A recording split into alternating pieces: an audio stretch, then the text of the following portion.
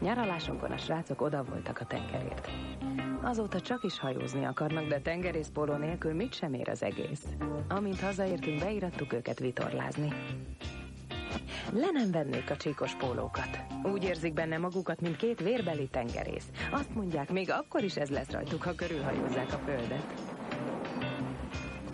Az nem titok, hogy a ruhák idővel meggyöngülhetnek. Az új Ariel vitaktív formulája segít megőrizni a szálak erősségét, és patyulattisztáramos, így ruhái fölött szinte megáll az idő. Hát igen, jól néznek ki a srácok. A végén még tényleg ebben hódítják meg a világot. Ariel. Életerős, patyulattiszta ruhák.